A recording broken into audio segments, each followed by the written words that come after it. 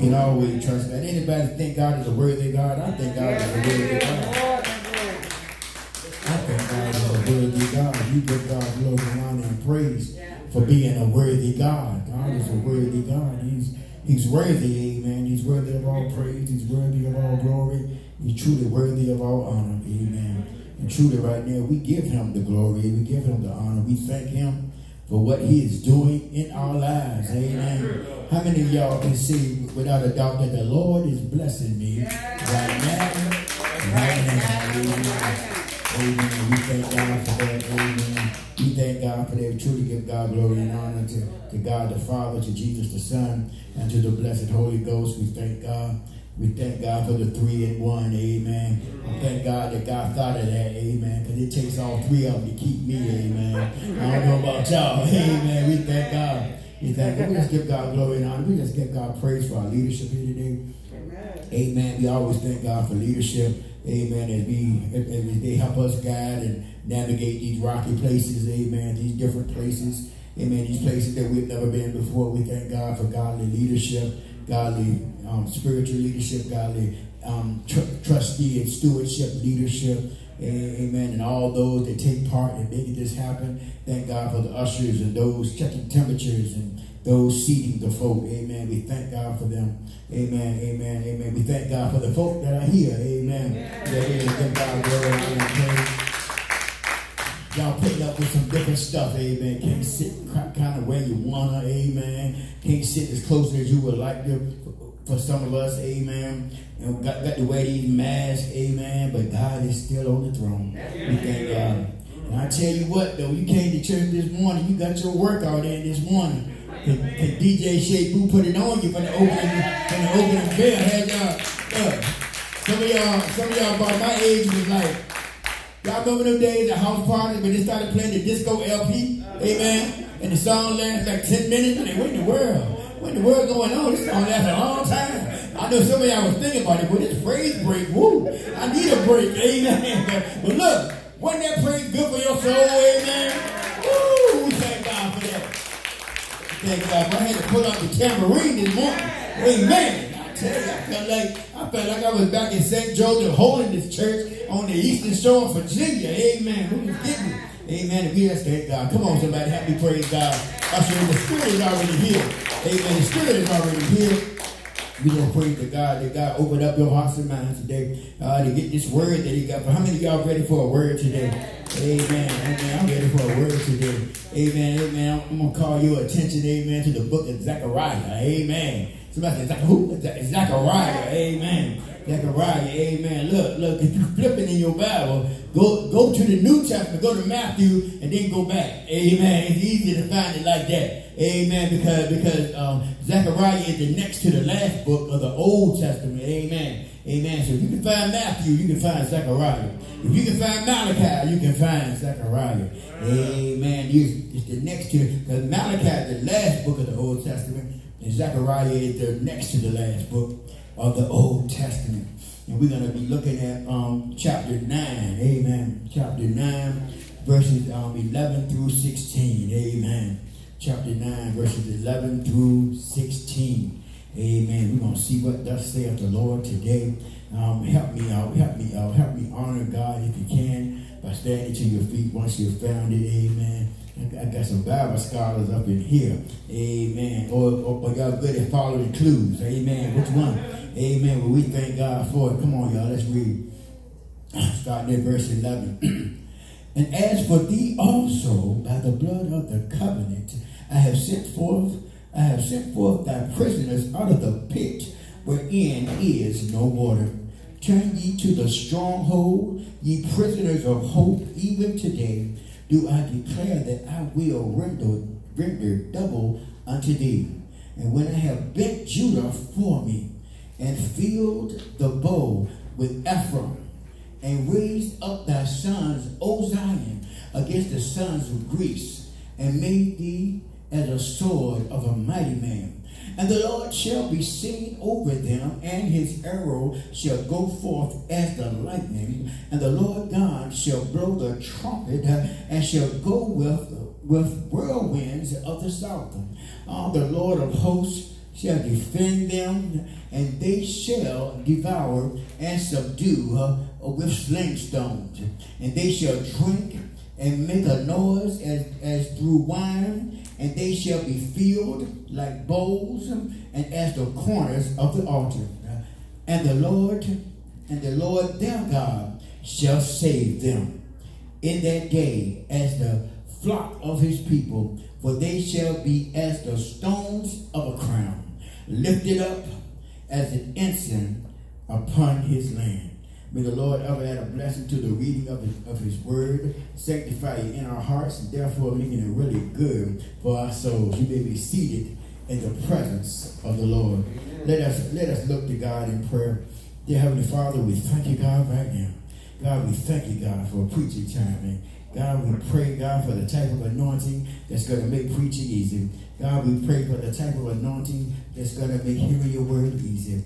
God, we pray for the type of anointing that's going to make doing your word real easy. And now, God, God, we come before you, God.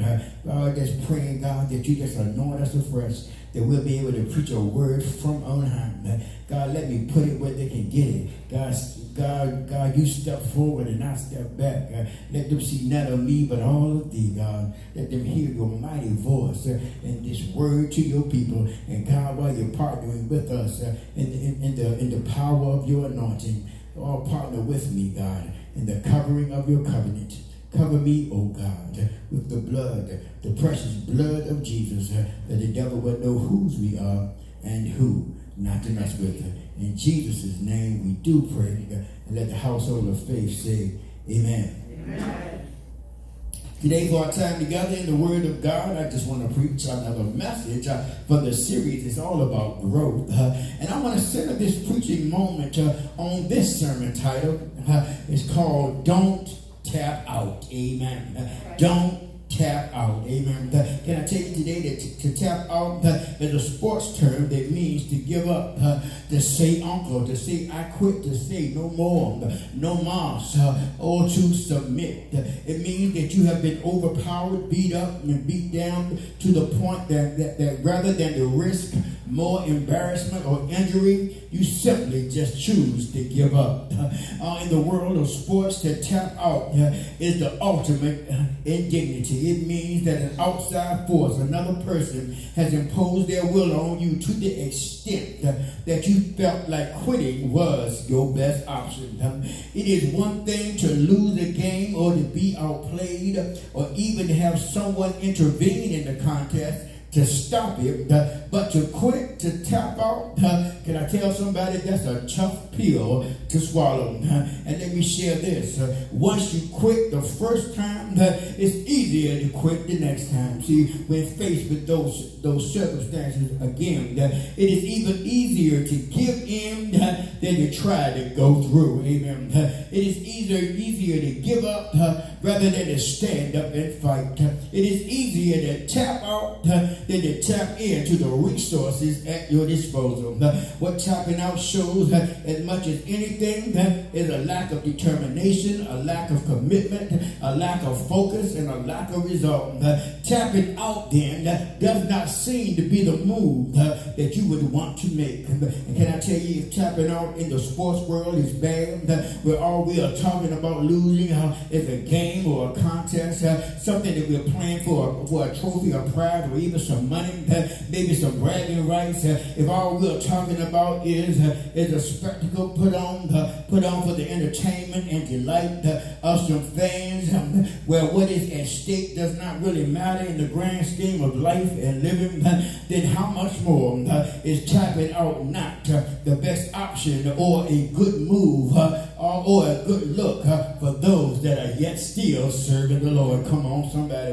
This is why that we should be striving to grow in the Lord.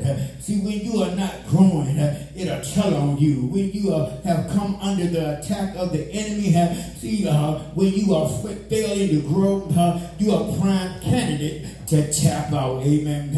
Or can I tell somebody hearing about growth uh, won't cause you to grow? Being around those uh, that are growing won't cause you to grow. Saying that you're growing uh, won't do it either. Amen. You got to receive the word, obey the word, and apply the word of the Lord in order to grow strong enough to be able to fight the good fight of faith. Amen. And to not tap out. Amen. Can I tell you in this battle that we are in with our adversary, our enemy, our spiritual opponent, the devil? This is real, y'all. We're in a real battle, y'all. And We're in more, it's more than a game with our enemy. We're in spiritual war. Amen. We have we, we are engaged in spiritual warfare. Therefore, we need to have some spiritual weaponry. Amen. The Bible lets us know the weapons of our warfare are not carnal, but they are mighty to the pulling down of strongholds. But can I tell you, you ain't pulling down no strongholds if you tap out. Amen. See, look, can I tell you, it's a war that has real consequences, real outcome, real casualties, real damage to be felt seen and dealt with uh, in this world uh, and the eternal world to come. Uh, church, let me tell you, believers are tapping out to the enemy all over the place and in all aspects and levels of this spiritual fight. Amen. Can I tell you, uh, preachers are tapping out in the pulpit, amen, uh, and not preaching the pure and full gospel, not standing on the word, not saying what thus saith the Lord, and they think that that compromise uh, will give them a greater membership uh, and more job security. Well, church, can I tell you, if you're acting like that, uh, that's tapping out. church leaders are tapping out by not living what they demand others to live, not living according to the standards that God has set and made possible to accomplish through the word, to the work and word of Jesus Christ uh, on the cross and at his resurrection. Uh, can I tell somebody that Pharisee spirit uh, is alive and well in some churches? Amen. It's among those that want a position but don't want the power. Come on, somebody. They want a position but don't want the power through the spirit to be evident in their lives because they know their real power from God comes with real commitment to God's will, God's will, ways, and purpose. Church, can I tell you anything less is tapping out? And, and I dare not leave out the members and fellow believers in the church that are tapping out um, um, by living any old way outside of the church and not being an effective witness of the power of God, making up their own reasons for lack of compliance to the word of God uh, that is available to them, uh, turning their back on sound teaching uh, and rather flock to the places where their sins can be sugarcoated and excused rather than to change. Catch the vision, catch the vision of God and be delivered. If you're acting like that, that's tapping out. Uh, the believers are tapping out uh, because not only are they giving up on themselves uh, in this fight against the enemy, but they're giving up on God uh, and the power of God to heal, deliver, uh, and set free uh, according to his word. Church, wherever this is going on, somebody need to go ahead and count to three. Ring the bell because the devil has already won. But I'm here to tell you, I'm here to tell you, you ain't got to tap out. And though the enemy want to tap you out, he want to cause you to quit, but you ain't got to quit. You can hang on in there. In Jesus' name, I'm here to tell you, church, it does not have to be so. The Lord God does not want to see you tap out to the enemy and what he puts your way. You do not have to quit believing in God under any circumstances. Can I tell somebody, you can win. You can make it. Uh, you can have the complete uh, and unconditional victory uh, that you need. Uh, and God has ordained for you. Uh, in First John uh, 4 and 4, it says this, you are from God, little children, and have overcome them because greater is he that is in you than he that is in the world. Come on, church, we can make it if you just don't tap out. See, our text today is going to show you and I how we can learn not to tap out, um, but go on through, get on through, uh, come on over uh, in Jesus' name. Uh, the first thing I want to tell you today, for you to make it today is this. You have to know that God has made a covenant promise with you. And can I tell somebody in the book of Zechariah, it was a book written to encourage the people of God in their faith. Can I tell you, they had been in exile in Babylon for 70 years, and God had placed a prophet there to sustain them with a word from God throughout that ordeal. Somebody better get that. I don't care where you are, I don't care what you're going through. Uh, your God is still looking to take care of you. Come on, somebody. Uh, and the dark days, uh, and the dreary days, and the weary night, and the lonely times, nights full of fright. Can I tell you, God, God has put a word near your mouth. God has put a word in your heart. God put a word in your mind. God has raised up somebody. It might be somebody walking down the street. You ain't never seen them before. And God called them to give you a word. You might be sitting in a doctor's office and somebody just smile at you and tell you it's going to be all right. I'm going to tell you whatever exile you might have found yourself in, whatever place that ain't been all together lovely, I guarantee you that if you believe in the Lord, the Lord will provide a word to encourage you. Come on, uh, come on, somebody. Uh, I want you to understand. that. And now, and now that they got through that part, then now they back in the land of their forefathers. But things look rough all around. Things are looking mighty bleak. Stuff been tore down. Stuff been tore up. They got some work to do. They still got some enemies to fight. But they don't want to go forward. Um, They don't want to rebuild the temple. Uh, they don't want to follow the ways of God. Uh, can I tell you, uh, they came through all that and now they still want to tap out.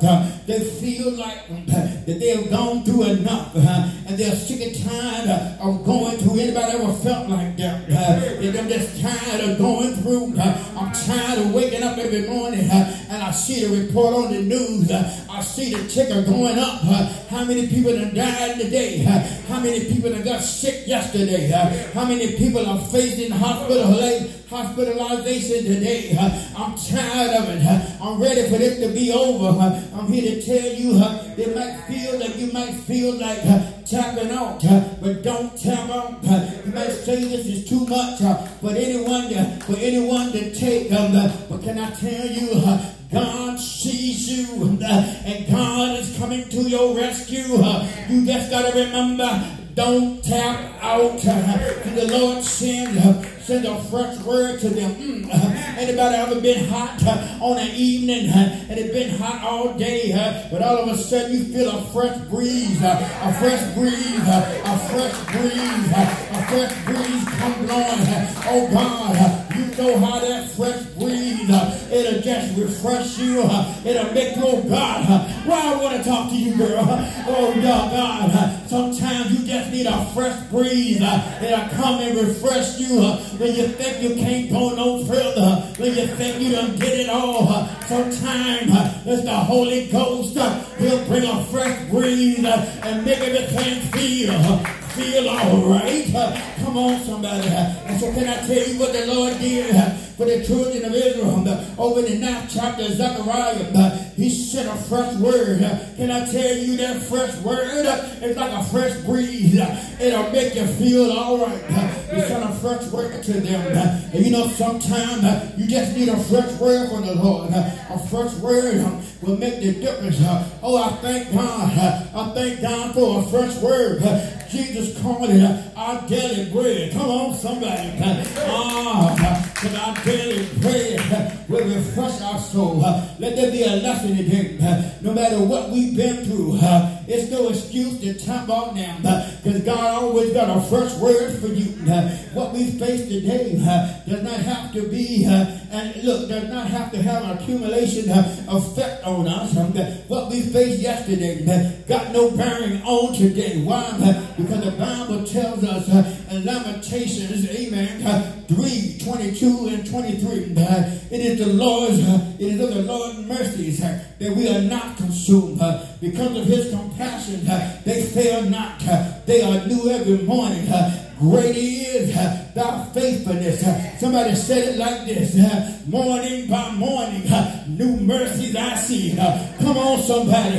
Let the fresh love, oh God, let that fresh, let that fresh spirit, let that fresh word fall all over you. Come on, somebody. Weeping may endure for a night. Somebody say it with me. Weeping may endure for a night, but joy cometh in the morning. Come on. On, somebody. Great is uh, thy faithfulness. Uh, then in the prayer, look, uh, then Jesus taught this. Um, in the prayer when he taught his disciples how to pray, give us this day our daily bread. That's a promise, y'all. It's a promise of a fresh word. Can I tell you, the Lord will give us what we need to make it every day. You don't have to chop out. You don't have to quit. The Lord has it all in his hands. And what these people needed to know, that yes, God had a plan. He had a plan to go along with the promises. A whole lot of folk can make promises, but ain't got no action behind it. Ain't got no plan. But I'm here to tell you, my God is a full service God. Not only do he have a promise, but he got a plan they will bring it to pass. Come on. Uh, he said, I know the thoughts I have for you. Uh, I know the plans I have for you. Uh, the plans for your good uh, and not for your evil. Uh, to bring you to uh, an expected end. I'm here to tell you, God's got a promise to go along with his plan. watch this back up for just a minute. in Zechariah 9 and 9 foretells the coming of the Messiah. Can I tell you, that sounds like a plan to me. the coming of the Messiah, the Savior of all the people. That and for those that are thinking about tapping out, not only is Jesus a way maker, but Jesus is a game changer. Come on. And look how the promise of the, coming of the, Messiah makes a difference. Look at verse 11. As for thee also, uh, by the blood of my covenant, uh, I sent forth thy prisoners. Out of the pit where there is no water. They were in a place, amen, where they couldn't feel the Spirit of God. But I have delivered you out of that place. See, sometimes the Lord got to pull you up from around, oh God, you, yeah, you. Sometimes God got to pull you up to where you was. Amen, because you couldn't get the right reception for what the Lord needed to do for you. You was a prisoner trap. I know, I know a little bit about the story.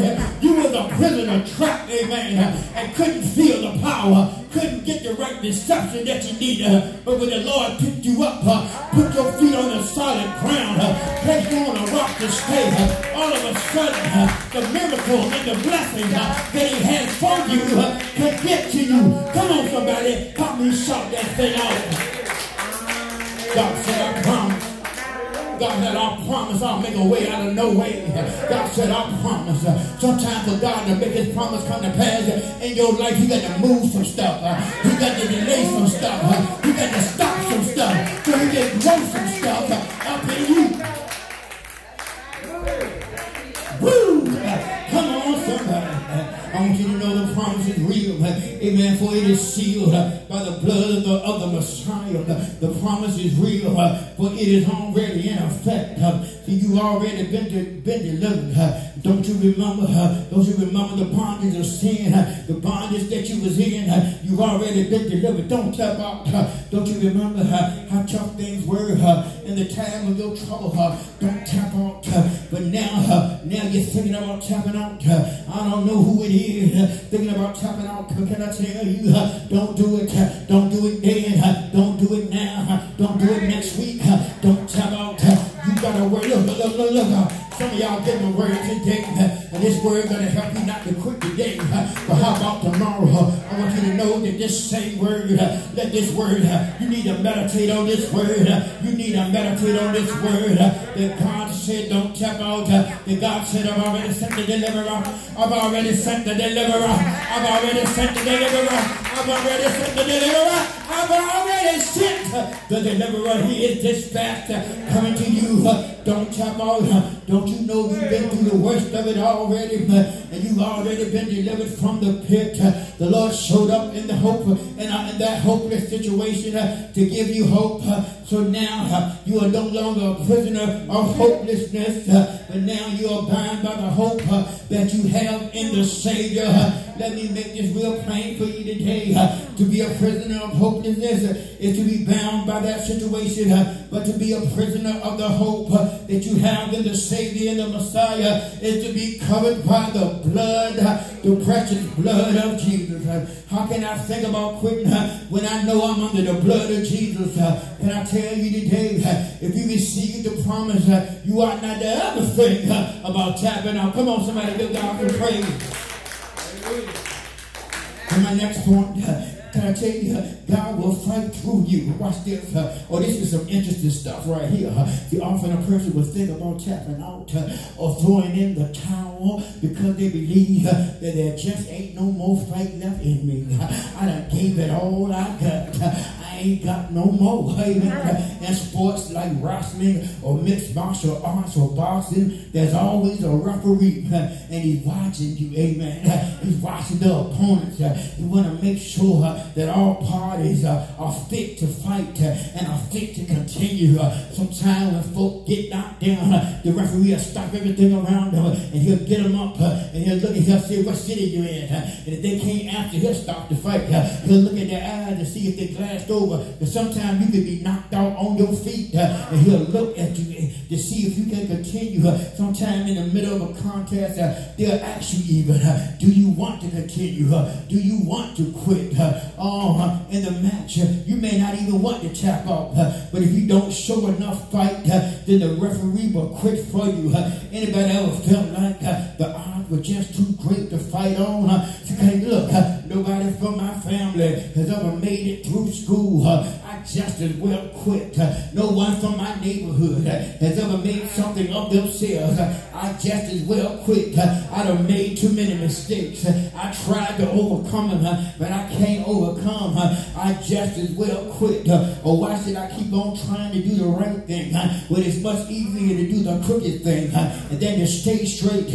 I might as well give on into these streets and just quit. But I'm here to tell you today, don't tap out no matter how hard it looks. Uh, because if you hold on uh, and if you hold on, uh, the Lord will the Lord will be in the fight. He'll be in the fight first through you. Watch this.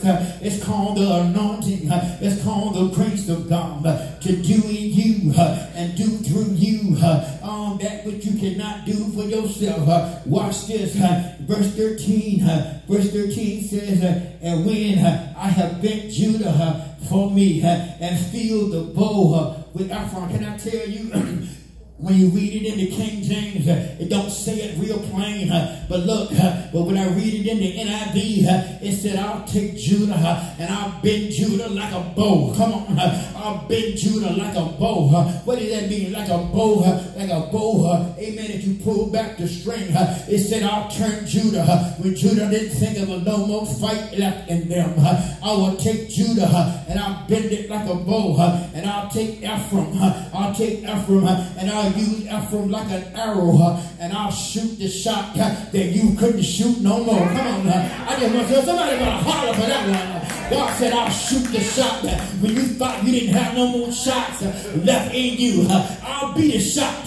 I'll be the shot. I want you to understand, but it looked like they had no more fight and were about to tap out. The anointing took over, and the people they used them like they had not been used in a long time. Oh God, I just want to help somebody. I mean, look, look often we say, Lord, use me. We want the Lord to use me. But what we think sometimes, the Lord will use us, amen, that we might get a get some glory uh, or we might get a blessing. But how about God use you uh, so you can be the blessing? Uh? How about when other folk all around you are tapping out and you decide I ain't tapping out and you ain't got no more. God say I got it all and I'll bend you like a bow and shoot you like an arrow and I'll go forth like lightning and I will strike. On somebody, you better get that. Oh God will use you. Look, he'll use you and the enemy might not never saw it coming. Because the last time the enemy saw you, you was woe down. You was woe out. You was beat up. You was beat down. You was never level to the ground. But long as you got King Jesus, come on. Long as I got King Jesus. Long, long, long. I don't need nobody else. You better get that. Oh, can I tell you text said the Lord will bend the people like a bow and use them and use them, amen. And God will cause up the victory and God will raise up a mighty army. God said, look, when, they, when look, when people that want to tap off see you being used of God, God said, I'll raise up an army. Here. I'll get people encouragement. I'll raise up the sons of Zion against the enemy. And you shall be as a mighty sword. You're able to cut right through the enemy. Right when the enemy thinks that, he, that you are ready to quit. If you don't tap out, the Lord will show up in you and manifest his might through you. Church, don't forget, don't tap out. Come on. And then my last point, the last thing I want to tell you tell you today about not tapping out. Uh, if you don't tap out, uh, not only will the Lord fight in you, uh, but can I tell you, the Lord will fight with you. Come on, come on, somebody. In verses 14 and 15, amen. In verses 14 and 15, it said, And the Lord shall be seen over them, and, and his arrow shall go forth as the lightning, and the Lord shall blow the trumpet and go with the whirlwinds of the south. The Lord of hosts shall defend them and they shall uh, devour and subdue her with sling stones. Can I tell you, uh, God said uh, that he will go with you and fight, uh, that God will look, if you don't tap out, uh, the power of the Lord uh, will be evident with you in the fight. Your success in the midst of the struggle will be seen by all. Sometimes folk the world would try to equate with how much you're struggling uh, to make it, uh, to make it through uh, with you not being being in the Lord as you should. They expect uh, the weight of your struggle. Come on, uh, somebody know what I'm talking about. Uh, they expect already the weight of your struggle. Maybe you've been going through some obscure things that most folk don't go through. Maybe you've been dealing with some stuff for a long time that most folk don't go through. And people looking at you like, mm, what's wrong with them? But what they ought to be doing is celebrating you because the devil ain't broke you yet. Come on. See, some of us have been through a whole lot and been through some mighty long days and uh, some mighty tough nights. Uh, been cold, uh, been lonely, Have you've been afraid, but you still yet held on to the promises of God. You kept on getting a daily word. You kept on getting a fresh anointing. You kept on getting another dose of the Holy Ghost. And you didn't give in. And you didn't break down. You didn't break down. And instead of folks looking at you and saying, I wonder what they did, they ought to be and celebrate you because of what the Lord has done. Come on, some, oh God. Come on, somebody. Look, look what the Lord has done. See, you need to let folks know that you are not, that look, that if you're not praying for me, just go ahead and leave me alone. Come on. Just go ahead and leave me alone. Amen. Just move out of my way.